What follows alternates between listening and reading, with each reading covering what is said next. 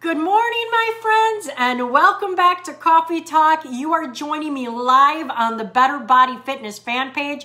You might even be joining me on demand. Make sure if you stop by to listen, you drop a comment. Let me know you've been here. I would love to interact with you. Good morning, good morning, good morning, my friends. Happy Hump Day. you know what that means. It's easy peasy here on out for the rest of the week. Easy peasy. Dee Dee, good morning, my friend. Happy hump day. I try not to yell too loud when I'm this close to the camera. I'm not quite sure what it is, what it's like on your end. Beth, good morning. I have to tell you all, I am envious of Beth's sweat. I am. I know she thinks it's gross, but I love uh, just how it just coats her. yes, it does sound a little disgusting, but as I told her, it just makes me cherish warm weather even more. Sue, good morning. Happy hump day. Ashley, good morning. Charmaine, good morning. Charlene, good morning. Sarah Flippin Robertson. good morning. Ashley, good morning. Uh, and glist- glistens. I thought I am at, you know, you typed a couple things today and my eyes are seeing something else. I thought you said and glisters. I thought you meant glistening blisters. but it's just glistens. It's just glistens. Carrie, good morning. Nikki, good morning. Marsha, good morning. Happy hump day. Karen, good morning. I love it. I love it. I love it. Uh, we've got a spicy conversation today. I have three pages. I'm not exaggerating. three pages of notes. Uh, there's another page here. Chuck and I went on a walk yesterday, and there's been something on our minds for quite some time, and we talk about it. And I'm always like, that would make the perfect coffee talk. But then by the time I get home, it's woo. so yesterday I sat down and I started making my notes and it just poured out of me. So I hope you enjoy the conversation today. Now I'm going to ask something of you. Amy, good morning. Karen, good morning. Ashley, good morning. If you have the ability to type today, if you have the ability to interact with me today, I would really love that. I would appreciate it. If you don't feel like you do or you don't want to share, I understand that as well. I want this to be a safe zone. Even though it's live for the world to see, I want this to be a safe zone for you. So share what you want. Don't share what you don't want, my friends. Lori, good morning. Can you say all of our names like Sarah Flippin Robertson? Lori. Okay, how do you say, is it uh, Getz? Is it Get? Lori Getz Campbell. I don't, I don't know if I can. Amy, good morning. Jody, good morning. Jenny, good morning. Sarah, good morning. All right, let's get this show on the road. Susan, good morning. And the cycle continues. That's the title of today's video. I believe you'll understand why as we get deeper into it. Uh, Michelle, good morning. Tammy, good morning. So here's where I want to start the interaction, my friends. Are you the same person you were 10 years ago? Are you the same person you were 20 years ago or 30 years ago if you've had enough life under your belt? Are you the same person? What I mean by that is what's happened in those years marriage, children, divorce, death, weight gain, weight loss, trauma. Are you the same person that you were 10, 20, or 30 years ago? Stacy, good morning. Michelle, good morning. Amy, nope. Not even last year. Susan, not at all. Trauma. I want to talk a little bit about trauma, my friends. And I know that this is always a very emotional subject. And maybe you have gotten through life unscathed. Maybe you haven't dealt with any trauma. But my guess is that most of us, on some level, have dealt with some sort of trauma. Even if it was an eating addiction that has traumatized us. What caused the addiction? Where's the trauma coming from? Sandy, nope. Charlene, nope. Heather, good morning. Ruth, good morning. Dee Dee, nope. Beth, yes and no. Ashley, not at all. I want to know are you healing from your trauma? Are you healed? Are you still in healing? When you see yourself struggling to set goals to look in the mirror and love what you see? Struggling to not let the scale define your journey? Your trauma is still very real. When you can't set goals for yourself, when you can't go to the mirror and love what you see in the mirror, regardless of where you're at in your journey, when you are still letting the scale define your journey, I'm going to guess that you still have some trauma that you haven't dealt with. And I believe sometimes we think we've healed. We think we've we think we've we've gotten over the trauma and we've healed. We don't realize that these little things keep us connected to that trauma. They keep us back in the past with who we were even though we've taken such big steps to come forward. How long have you been tuning into Coffee Talks? So, this is episode 340. Christina, good morning. Happy hump day. Beth, starting to heal. Lisa, good morning. Uh, you know, Beth, and I would believe that people probably look at you and think, Beth, Beth is Beth is healed. Beth has had trauma, right? Right? We are all healing from something. I want to know how long have you been tuning into Coffee Talks? Some of you have been here for just a week. Some of you have been here for a month. Some of you have been here for all 340 episodes. What has been your biggest takeaway? I would love to know, not maybe up here, I want to know what's been your biggest takeaway in regards to action. And you know, this can be just a quick one. What has been your biggest takeaway in regards to action? Nick, Nikki's been here since day one. That's right, Lori. In the process of healing, but still dealing with triggers. Lisa, 340 episodes. Love it. Carrie, since November. What has been your biggest takeaway? If a couple of you could just drop a couple things in there, I'd love to know. When you've gotten onto Coffee Talks, what's been one takeaway that you put into action? You guys hear a lot of things, and I see you say a lot, so many times, oh, this really hits home. Yes, this is me. This is what I need to work on. Um, Ashley, positivity. I love it. Carrie sets the tone for my day. Ruth, since January, that I matter has that I matter has been my biggest takeaway. I love that. So here's if you try, if there's anything you take away from any episode of 340 episodes and you put it into action, this is what I want it to be today. Here's what I want you to take away today the one thing, and it would be to get rid of your scale. That's what I'm asking you. That's what I'm asking of you today. Maybe, you know, I know some of you use it for the challenges for day one, day 21.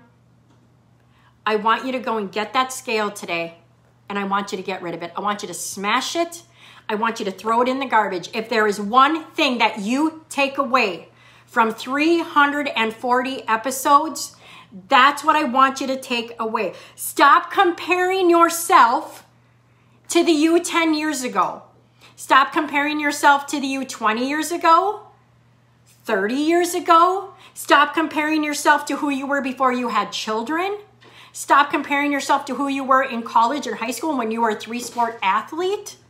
Stop comparing yourself to who you were before you started uh, premenopause or menopause. Stop comparing yourself to who you were before trauma hit. I need you to stop comparing yourself to that person you were. Go ahead, coach. And I would say if you have a struggle in doing this, if if you are pulling your scale out and you're like, I can't do it. I can't let go.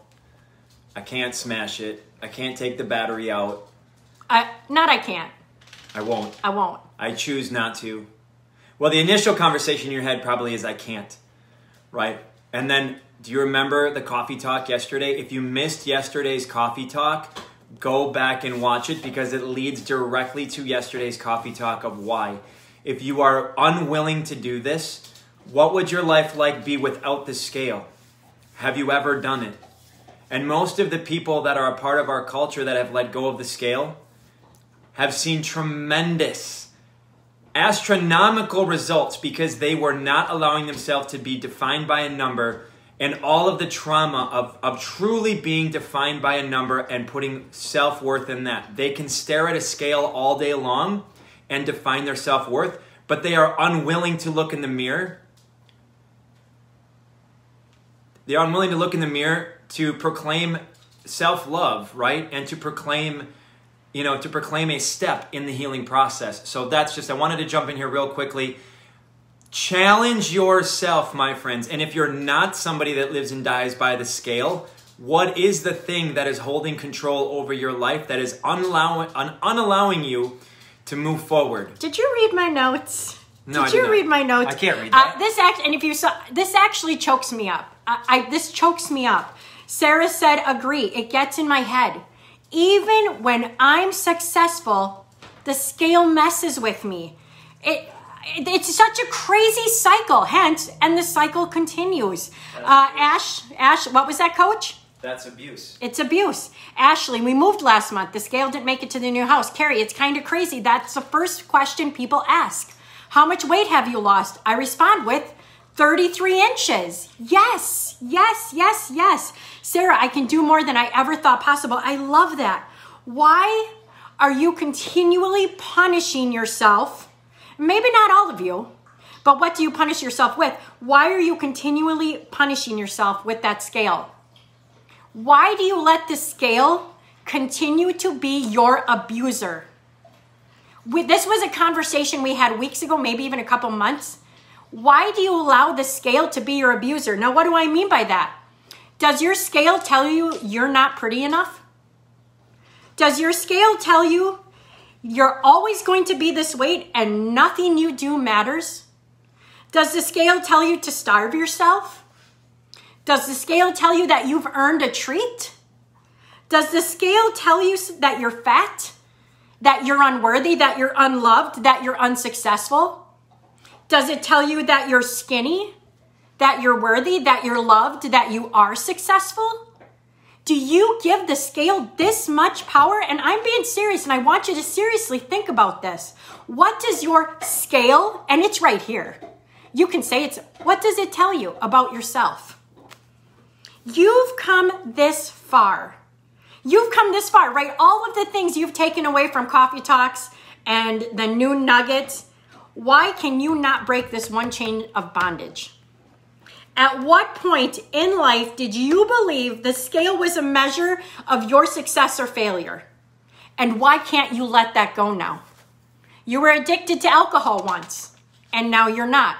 You were addicted to sugar once, and now you're not. Maybe you were addicted to porn. Maybe you were addicted to gambling, and now you're not. Why are you still addicted to the scale? Why can you not break that chain? It's a serious question. This is something that keeps us in a vicious, vicious cycle. Uh, Sarah, it kind of scares me to not know what I weigh. I'm good with not weighing when I'm not trying, but when I'm trying to lose, I want to know. Why are you trying to lose? Why aren't we just trying to be healthy? I think that's something that's just been ingrained in our minds forever. If you do the right things, the right things will happen. If you eat the right foods, the right foods will happen. If you work out, you're going to gain muscle. The scale's going to go up. Are you doing the wrong thing? No. I implore you to get rid of that scale. I know it's hard. I know you want to base what you're doing in every day on if that scale tells you you're doing the right things. But I'm going to get to that even more. How long are you going to drink that poison? How long are you going to drink that poison? Until it kills you? Until you quit and you wait and you gain more weight and in a year from now you do it all over again? How long are you going to drink that poison? I can't out coach what you think is the end all be all of success. I can't out coach the scale. I don't have the antidote for that poison. I don't have it. I wish I did. I have the antidote for a lot of things. You ask me how many calories to eat, you ask me how you should track, you ask me how much water, you ask me. I, I, I have the antidote. I've got so much information for you. I don't have a way for you to trick that scale. I don't have a healthy way for you to beast mode your results. I don't have it. I've never had it.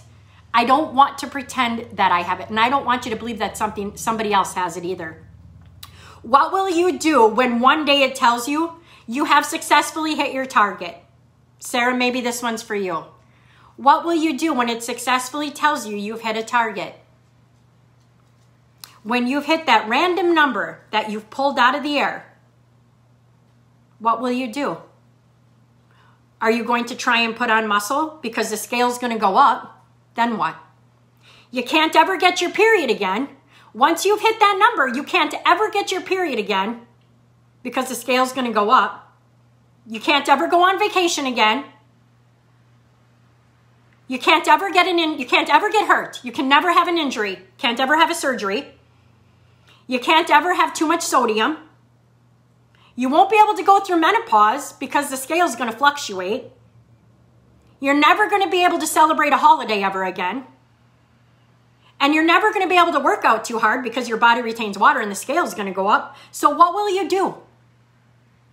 What will you do when you hit that magical number on the scale to know that you've successfully made it? You'll never be able to have an experience ever again that might affect the scale when you get to your goal, are you just not going to get on the scale anymore because you've achieved it until your clothes start to get a little bit tighter? And then you're going to get on the scale to see that maybe you've rebounded a little bit and that you have to get back on track with your healthy habits. And the cycle continues. When we talk about how we've lived a yo yo life, ladies, this is us.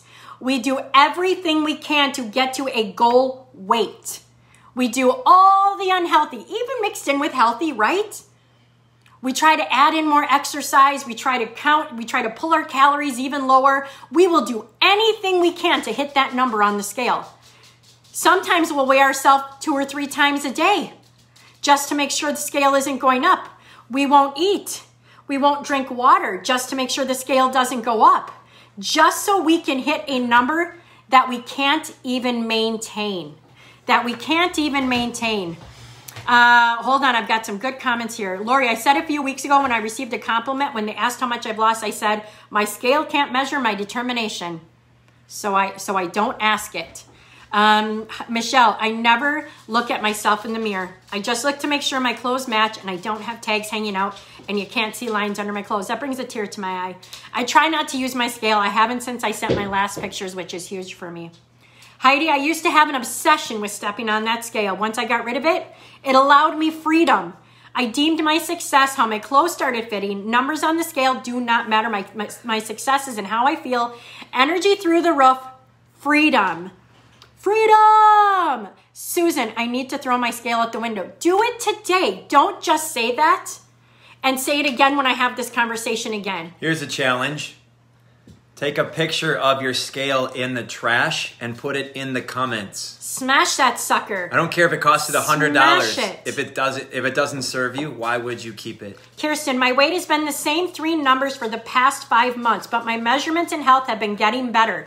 The weight is not the end all be all. It is difficult to convince myself of that sometimes since it is always about the weight before, but I'm getting there. Did you have you, you? I assume you're here too. Yeah. Well, I mean, just side note: when we pick our challenge winners, it has nothing to do with weight loss. Ever, ever, ever. Um, no. What came to my mind was well, well, number one, half the reason we are here today having this conversation is we're definitely drawing a line in the sand. We had a really long talk yesterday about the future of how we want to lead our community. And really it boils down to the fact that we are just we are just so wrapped up in the things that don't serve us like we want to break and shatter the frame and the paradigms that we have been taught and trained and educated to believe define our results. We are here to smash that frame. We're not just going to sit here and settle and just say we're going to do we're going to do weight loss challenges because we're really good at helping people lose weight. That doesn't do anybody any service and any good. We are drawing that line in the sand, and that's why you're going to hear this message more times, more often, framing it up in different ways to allow your mind to truly step into a new possibility. And I think that rep that I, I, thought about was we have a lot of women in our in our, a lot of moms, a lot of ladies, um, and they're bringing their husbands along, and we're slowly spreading this message to the men in our community because I think it's important that this we're not we don't just help women and we don't just help people lose weight. We help men and women, husbands you know, wives, moms, and dads, because we have to be examples. To lead a healthy lifestyle. Yeah. And and but I hear a lot of ladies out there just say, this is what I hear. It's so easy for my husband to what? To lose weight. To lose weight. It's so easy for him. And I will I'm here to tell you as a guy and as having plus to 20 years of experience, well actually my transformation began 21 years ago, right? Yes, I carry more muscle than her. There there is a I have a massive advantage over her based off the fact of her the fact that she is designed to carry children, she's had 3 children, she has a thyroid condition, her hormones are different than mine. Everything about her as a human being is different and weight loss is a little bit more challenging. But if we break and shatter that frame, just because a guy can lose weight faster than a woman, or because your husband can lose weight faster than you, here's the thing we bring it back to. That does not mean that just because I can lose weight or fat faster than her, it doesn't mean that I'm healthy. All it means is that I can take another opportunity to stop eating crap and move my body and lift some weight and ignite some muscle mass, and I can lose weight. And I will tell you, over the years of experience, we actually one time, one time in our history, we ran a dad's challenge, and this was like three years ago, and we had a prize for it, and it was it was based off of weight and percentage. I saw guys do insane stuff, lose like 25 pounds in a month. And where were they 90 days after that? Right back to where they started.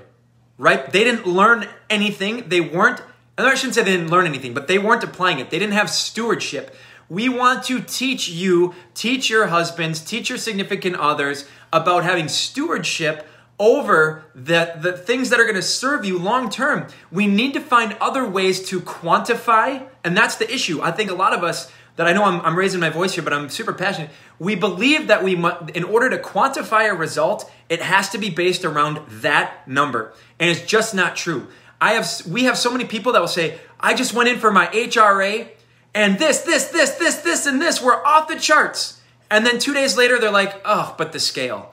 No. And it's crazy. You women, you are working so hard. You're making the meals, you're doing your four S's, you're getting your workouts in, and yet you still believe that the scale should tell you that you are successful. You don't want to believe it unless the scale tells you that. We have to break we have to break that chain those chains of bondage today. We cannot go one more day believing that that thing is going to tell us whether or not we are successful or not successful or worthy or unworthy or loved or not loved, healthy or not healthy. It cannot tell you those things. It is a calculator and it cannot predict your success. Get rid of it today. I beg you to get rid of it today. Do not let it steal another moment of joy from you. Lori, I'm not sure how many episodes I've watched, but but it's many, and these chats have done more for me than countless hours in the gym or any meal plan. Loving ourselves is priceless. And the more you love yourself, the more you're gonna want to, the more you're gonna love getting to the gym. The more you're gonna love making and eating that healthy meal. Those things don't make the self love happen. The self love makes those things enjoyable. Is that it? I think that's it. I just felt the need to sit in here. And you know what? We're challenging you to throw your scale out. Honestly, yes, it's you know in our challenge it, it asks for start weight, end weight, great. Maybe we'll even take that off. I was just gonna say Don't worry about it. I, I am inspired enough today that we're having this open, honest conversation that uh, this is going to be the last challenge in the history of BBF that we're going to ask for a start and end weight. I love it. I love it. Change requires change. Change requires change. Get rid of that scale. My ending my ending comment here today is and the cycle continues because it will if you don't change something today. All right, my friends, that's where we're going to end it. Join Coach Chuck at noon for the noon nugget. I'll be back tomorrow morning at 7 a.m. Lord knows what we're going to talk about. But I love you all. I want the absolute best for you, but I can't want it more than you. All right, my friends, go out and, uh, and have. No, and I'm serious. we are going to go back on this feed and we are going to be waiting to see your pictures. Break the cycle. Yep. Break the chain. Yep. Sarah, wow, Chris, this is a great message. While I'm on vacation, I can't keep track of days, and then you two on my screen on a Wednesday really confused me. all right, my friends, we love you all. We love you all. Go out, have a fantastic day. You are in control of you.